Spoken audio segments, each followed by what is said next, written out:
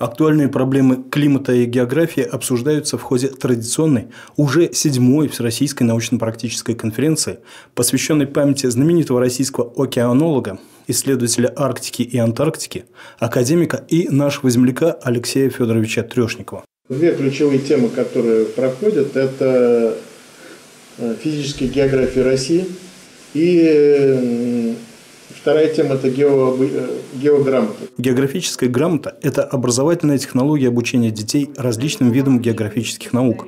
Нынешние трешниковские чтения посвящены современной географии как инструменту решения экологических и социально-экономических проблем регионов России. Конференция проходит по пяти направлениям научным – физическая география, экономическая география, палеонтология, а, образование географическое и Э, биологии, биоразнообразия, экология. В седьмой Всероссийской научно-практической конференции участвуют представители научной общественности и педагоги-географы как нашей страны, так и ближнего зарубежья, федеральных и региональных органов исполнительной власти, делегации региональных отделений Русского географического общества.